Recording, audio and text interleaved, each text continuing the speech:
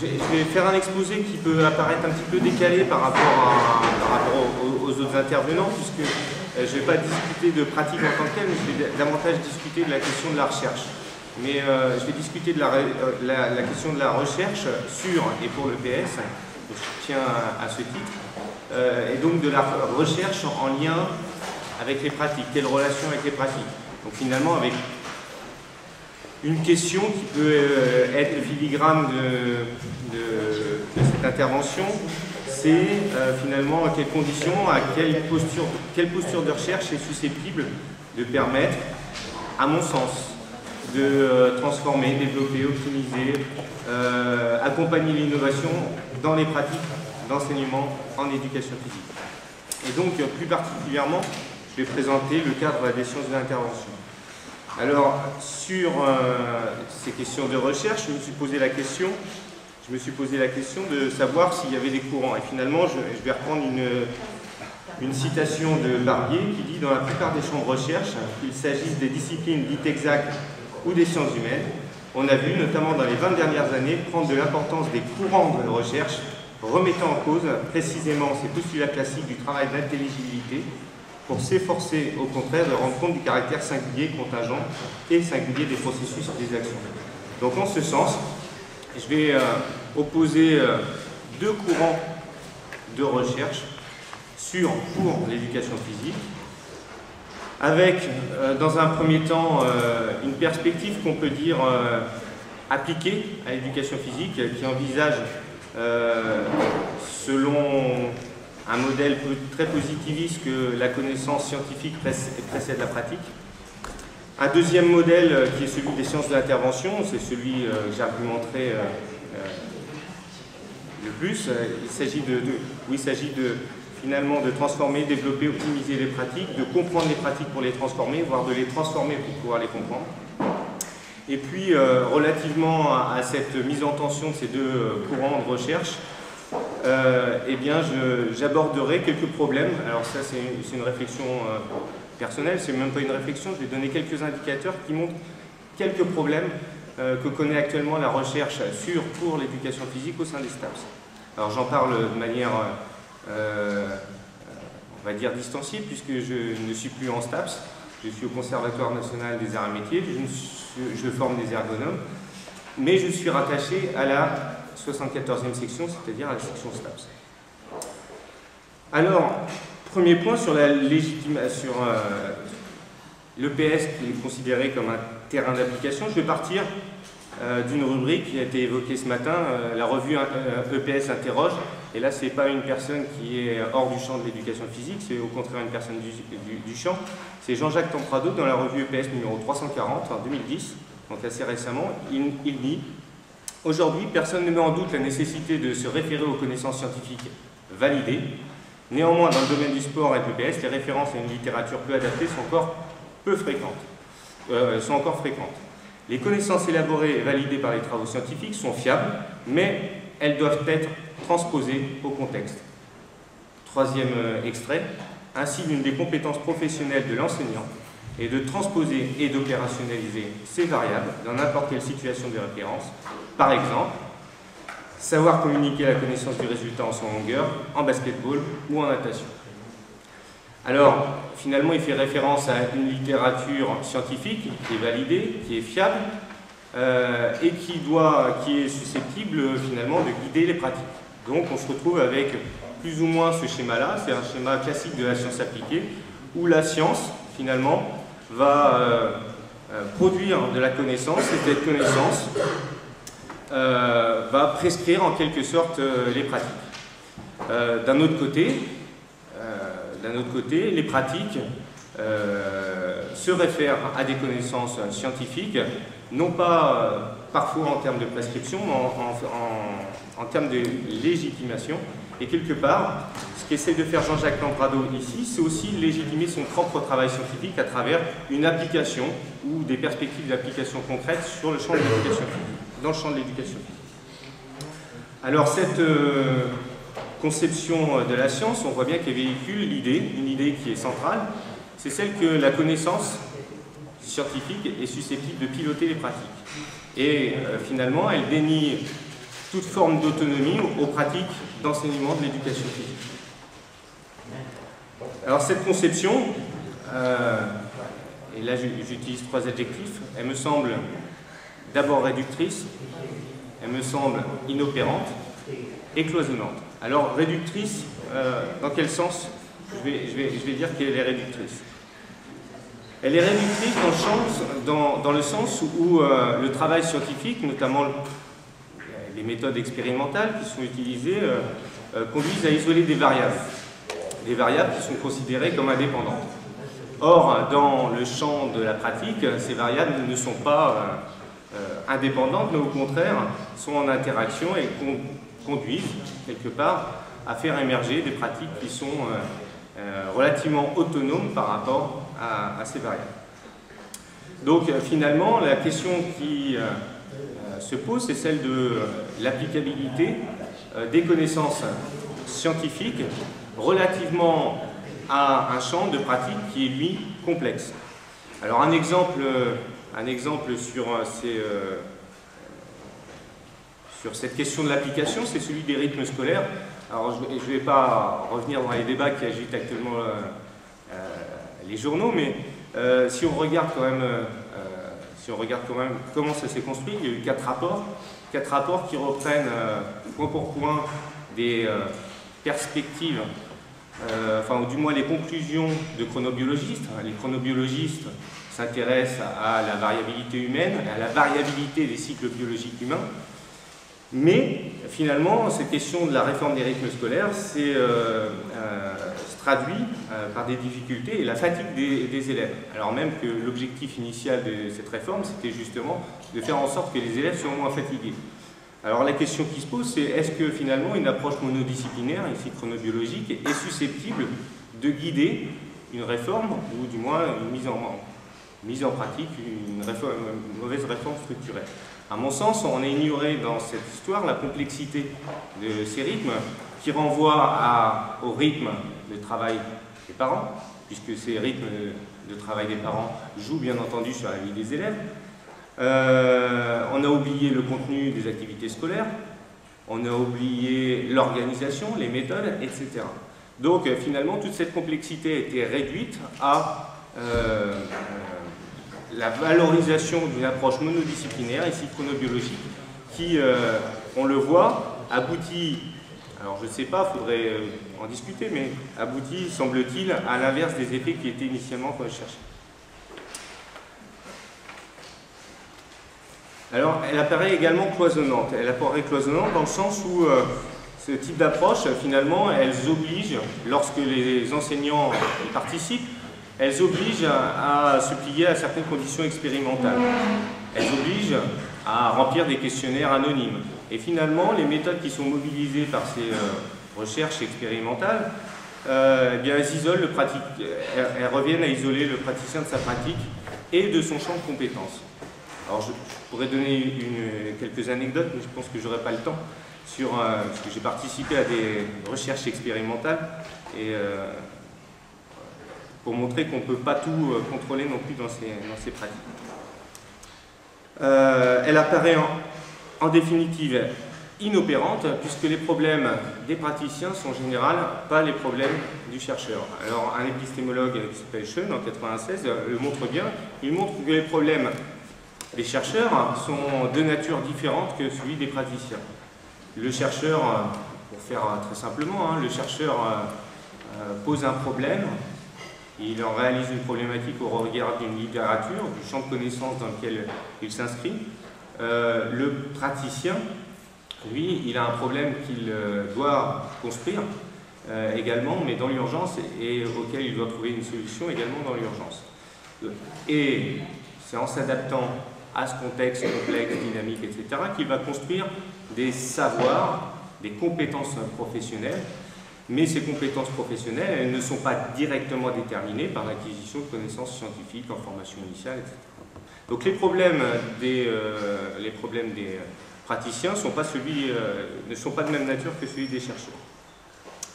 Alors un exemple, que j'ai vu euh, très souvent dans les copies de CAPES que je corrigeais euh, lorsque j'étais encore en STAPS, c'est celui de la répétition. Et euh, sur la répétition, par exemple, il nous est fait référence à euh, des travaux, je, vais, les mettre euh, juste à la suite, un article de Tellier, Nourri et Lucas sur l'apprentissage de coordination complexe. Et dans cet article, on, voit qu'il y a une bifurcation dans les coordinations au bout d'une cinquantaine d'essais, et puis qu'au bout de 200 essais, eh bien, euh, sur l'apprentissage de cette coordination complexe, euh, eh bien, le sujet de l'expérience, il aboutit à une coordination experte. Bon, on pourrait euh, discuter sur le mot expert relativement à des coordinations et, relativement à 200 essais. Et dans les, dans, les, dans les copies, finalement, on voit un discours qui est pessimiste et qui dit bien, il faut 200 essais. Si j'organise mes élèves, mes élèves en atelier en gym, je fais 6 ateliers euh, en une heure et demie de pratique, euh, voire sur un cycle, euh, ça m'étonnerait qu'ils aient fait 200 essais. Autrement dit, l'acquisition de coordination complexe, c'est pas possible en éducation physique. Si on suit, si on raisonne en quantité de pratique. Or, tous les jours, vous faites la démonstration que c'est possible. Donc la question qu'il faut se poser, ce n'est pas celle de l'application de connaissances scientifiques, c'est celle de se poser comment, justement, l'enseignant arrive à mettre en cohérence, en relation, eh bien, un cadre qui est euh, défini, un cadre horaire qui est défini, des contraintes temporelles et puis euh, des problématiques d'apprentissage. Deuxième aspect relativement à cette expérience, c'est que euh, ce sujet, cet opérateur, il est isolé.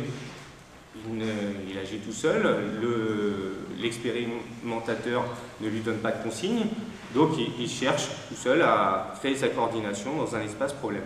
C'est complètement différent en éducation physique puisque les élèves sont ensemble et que quand même l'enseignant essaie d'apporter une plus-value sociale à l'apprentissage. Donc finalement, en isolant l'ensemble euh, des, éléments, des facteurs, des déterminants qui sont en interaction au sein d'une leçon d'éducation physique, on aboutit à, au mieux, un discours pessimiste, au pire, un discours qui, de toute manière, est inapplicable en pratique. Donc finalement, les questions à se poser, c'est comment l'enseignant rend-il compatible des exigences d'apprentissage et les contraintes temporelles de l'enseignant? Quelle plus-value apporte-t-il au plan social? Quelle modalité d'intervention? Comment regroupe-t-il les élèves Etc. Donc toutes des questions qui sont de l'ordre de la pratique et qui devraient pouvoir être un objet de recherche.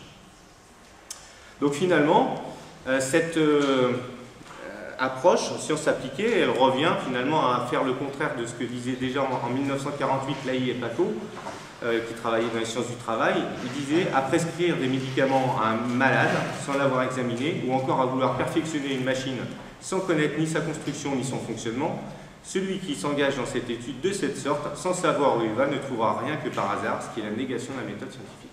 Autrement, autrement dit, avant de vouloir euh, avant de vouloir transformer ou euh, optimiser euh, l'enseignement de l'éducation physique, la première chose à faire, c'est quand même de se coltiner de la question, de comprendre comment ça fonctionne sur le terrain, quels sont les problèmes pratiques que rencontrent les enseignants, comment on peut, comment les, élèves apprennent ensemble ou les uns contre les autres, etc.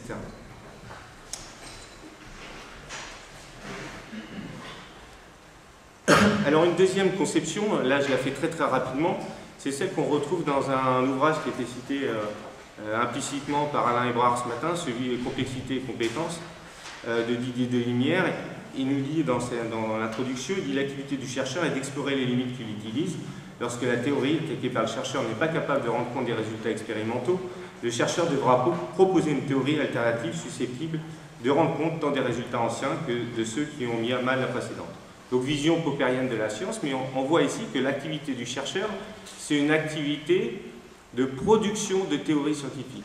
Donc l'activité principale du chercheur, dans ce cadre, c'est de résoudre des problèmes scientifiques, dont on a dit qu'ils ne sont pas de même nature, et à partir de là, d'élaborer des théories. C'est un travail d'élaboration scientifique. Et il nous dit un peu plus loin, c'est la même page, hein, euh, il dit le scientifique ne fait pas ses expériences pour répondre aux questions que se pose le public, pourrais même ajouter qu'il évoque le fait que la complexité des pratiques rend improbable toute théorie euh, de l'enseignement.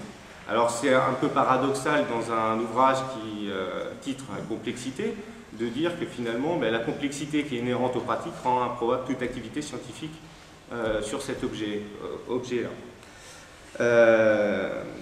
Mais finalement, là, on voit bien également un deuxième aspect qui est important, c'est à partir du moment où on coupe la recherche du monde de la pratique, et c'est cette vision-là qui est développée euh, dans ce préambule, et eh bien finalement, une des questions qu'on peut se poser, c'est quels enjeux sociaux pour la recherche en STAPS? Si elle ne fait que produire des, connaissances et qu'elle ne s'intéresse pas aux problèmes concrets, pratiques de l'enseignement de l'éducation. Donc finalement, eh bien, on pourra avoir un dilemme, j'ai représenté un escargot, hein, c'est celui de l'action. Euh, est-ce que je reste euh, enseignant d'éducation physique ou est-ce que je fais de la recherche? Et euh, ici, on a un escargot qui est footing, resto, j'hésite. et donc, cette équation entre l'intervention et la recherche, eh bien, il s'agit de pouvoir la résoudre, c'est-à-dire que l'intervention soit elle-même source de recherche. Alors je vais présenter euh, donc contre cette vision, euh, cette vision appliquée de la science ou euh, cette deuxième vision qui oppose science et pratique. Eh bien, je vais proposer une,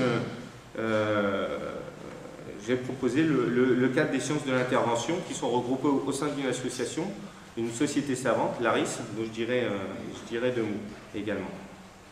Alors le premier point à évoquer, c'est de dire que finalement, d'une épistémologie des savoirs. Épistémologie des savoirs, ça renvoie à ce que j'ai dit, le savoir pilote la, pratique.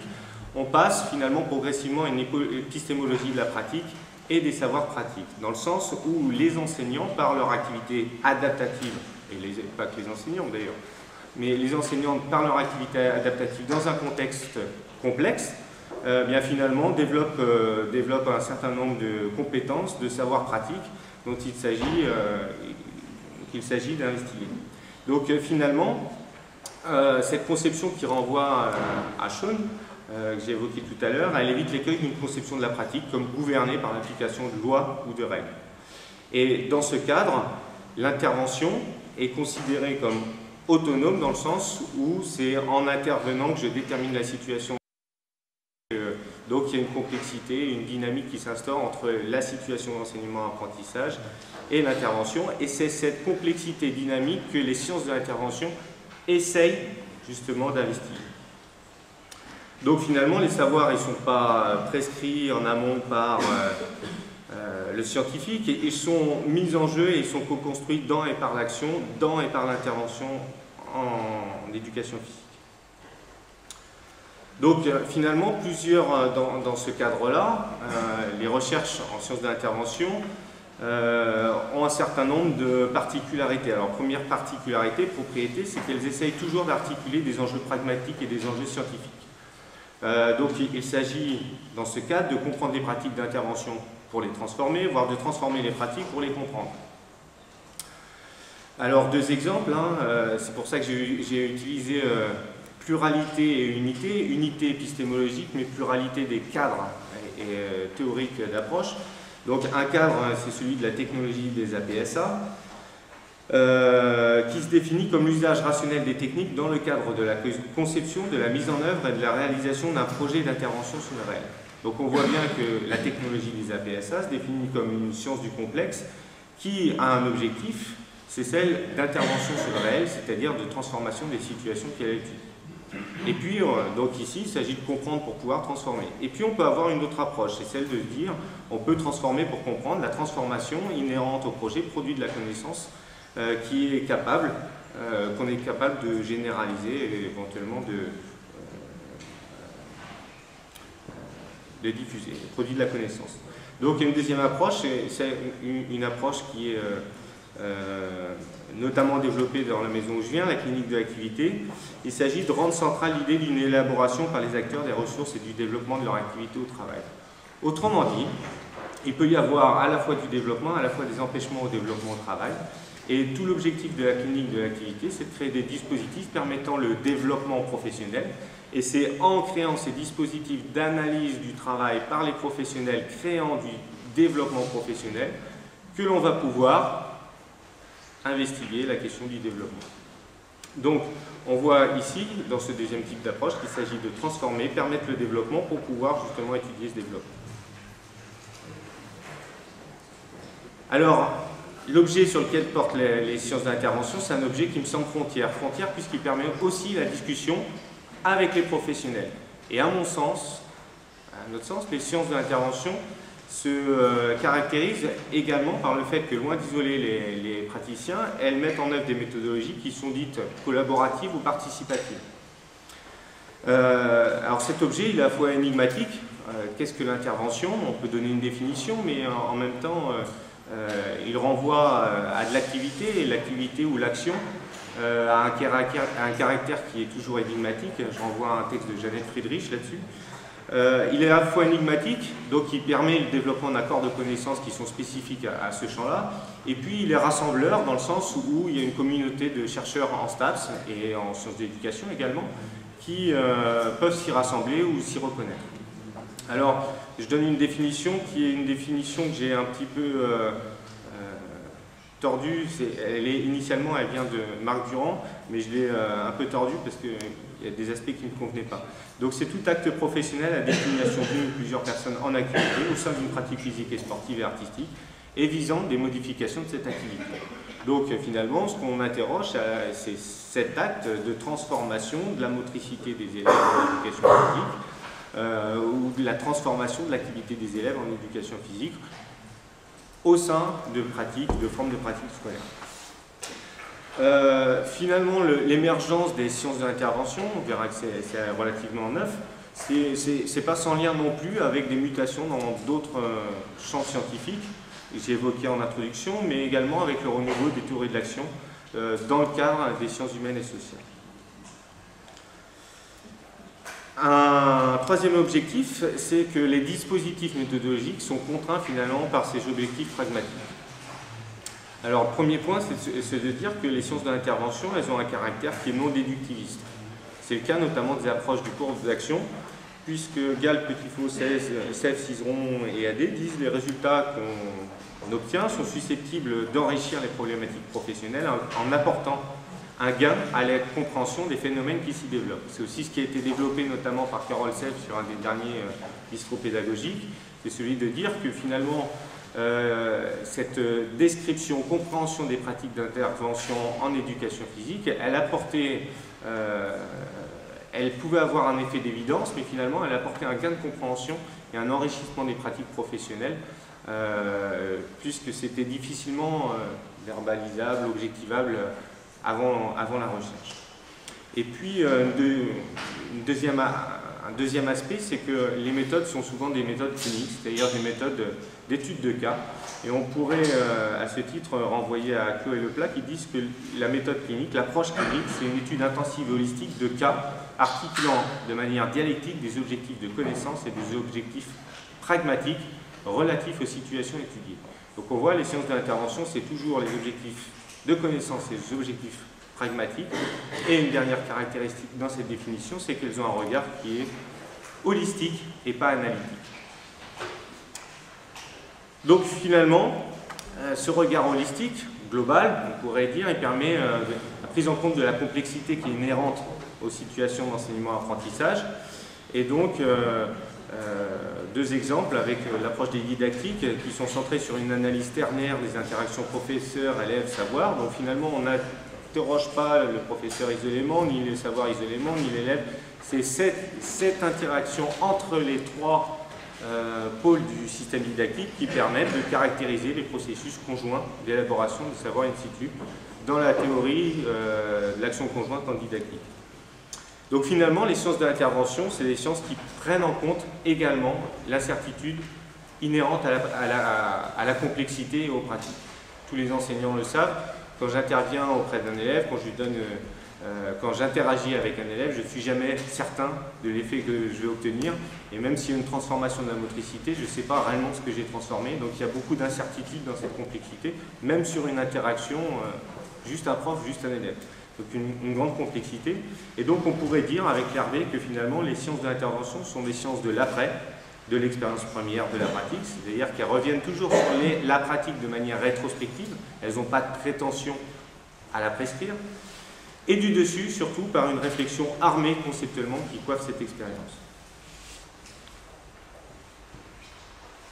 Euh, très rapidement, concept de singularité, généricité, la science et la recherche est davantage de l'ordre du général et les pratiques de l'ordre du singulier. On voit rarement deux cas pratiques qui se présentent euh, de la même manière, même dans des, euh, contextes qui peuvent apparaître similaires. Euh, il est rare qu'on fasse deux fois la même chose. Je pense même que c'est pratiquement impossible. Euh, donc finalement, les sciences de l'intervention souhaitent, à partir de l'étude ben, des cas hein, ou des situations locales, singulières, contingentes, eh dégager également des éléments euh, génériques. C'est pour ça d'ailleurs que euh, certains travaux titrent le, le didactique, c'est-à-dire on étudie le fait didactique au-delà des didactiques particulières ou des caractères particuliers de chaque didactique disciplinaire.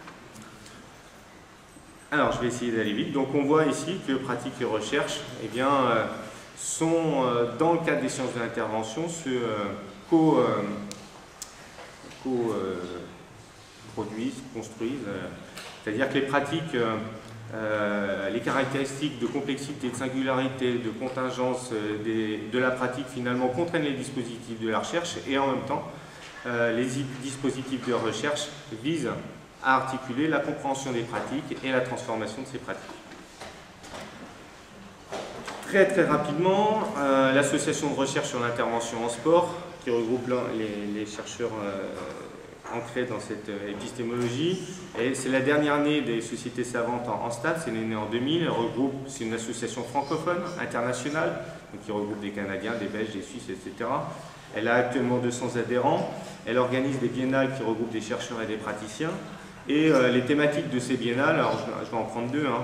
Euh, Amiens, intervention, recherche et formation, quels enjeux, quelles transformations. Rodez, l'intervention sport et ses contextes institutionnels, culture et singularité de l'action. On le voit finalement, les thématiques de euh, ces biennales sont vraiment ancrées au plus près des pratiques. Et puis un certain nombre, dans ces biennales, un certain nombre d'objets de, recherche qui sont mis en avant euh, d'après un travail de Musard, Robin et publié en 2010. Instruction et gestion de la classe, compétences euh, contenu, perception, expérience des enseignants débutants, genre, genre et mixité, stratégie d'élèves, interaction, savoir professionnel, planification, etc.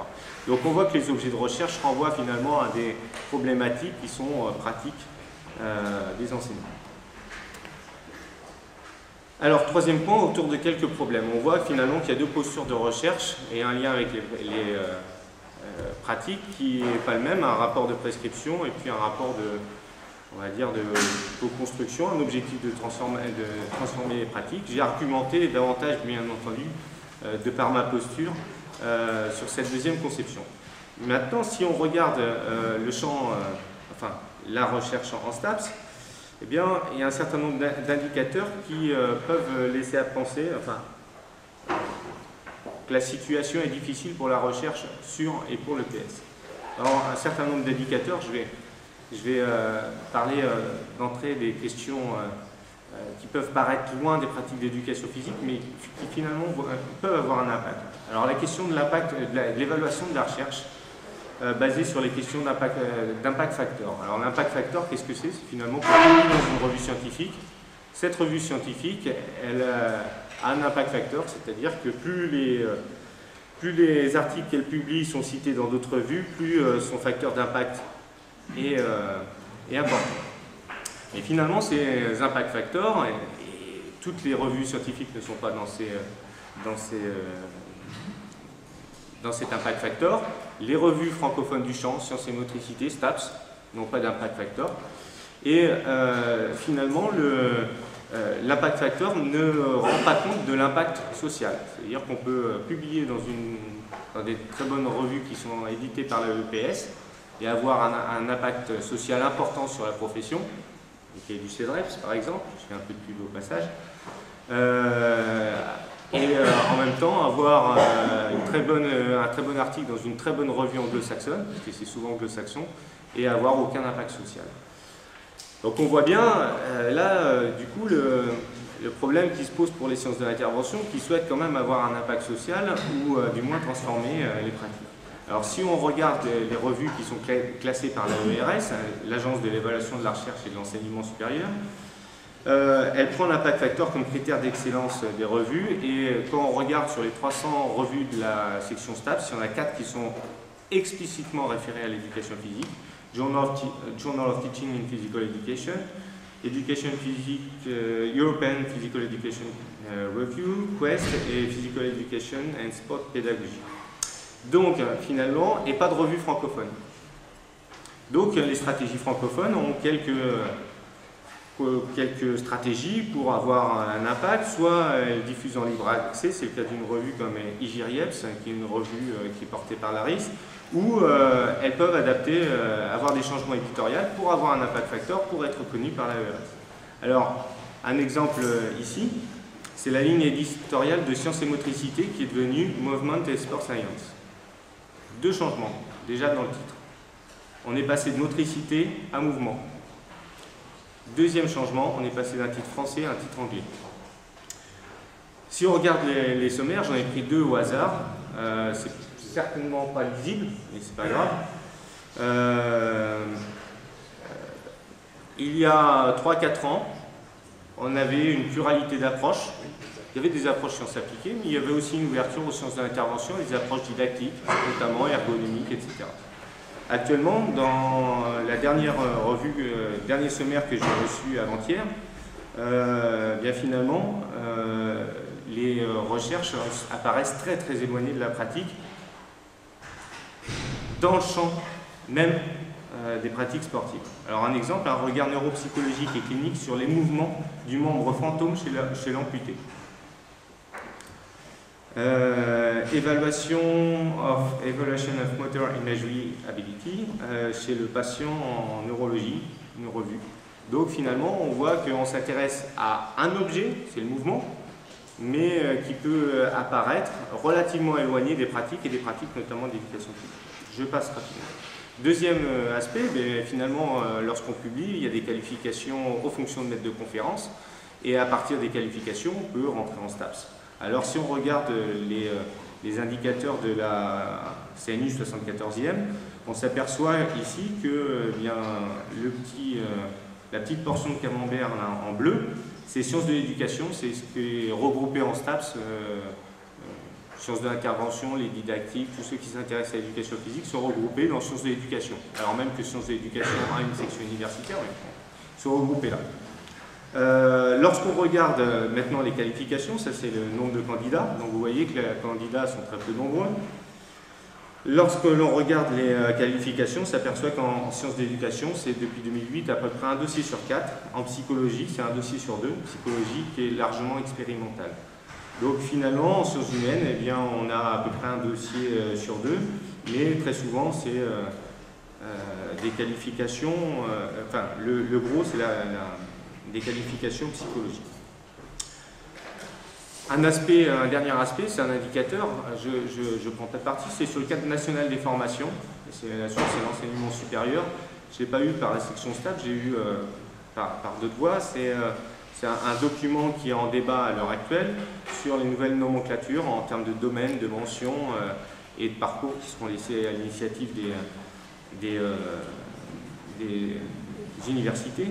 Et donc finalement on voit STAPS, donc euh, domaine des SHS, et on voit euh, quatre, euh, quatre, alinéas, entraînement sportif, activité physique adaptée, domaine des SHS, qui peut être dans le domaine des SHS, management du sport, droit, économie, gestion, ingénierie et ergonomie de l'activité physique.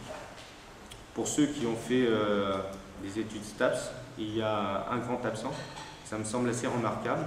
Donc c'est assez, euh, ça, pose question. Voilà. Donc finalement, ce que j'ai essayé de montrer, c'est que j'ai essayé de montrer une épistémologie et des pratiques de recherche qui sont plus, près, plus proches, à mon sens, des pratiques. Ces pratiques de, ce courant de recherche, il renvoie à différents cadres et à des recherches qui sont plurielles, qui sont ancrées sur, dans et pour les pratiques, dans le sens où elles souhaitent euh, euh, coordonner des objectifs de production de connaissances scientifiques et des objectifs de transformation des pratiques ou d'accompagnement de la transformation des pratiques. Mais toutefois, il me semble, et ça c'est un point de vue personnel, qu'il y a des risques non négligeables de minoration de ce champ qui est émergent, euh, mais pas totalement émergent, adisciplinaire, dans des STAPS qui sont de plus en plus disciplinaires et de plus en plus ancrés dans des disciplines scientifiques, psychologie, physiologie, etc. Voilà, je vous remercie de votre attention.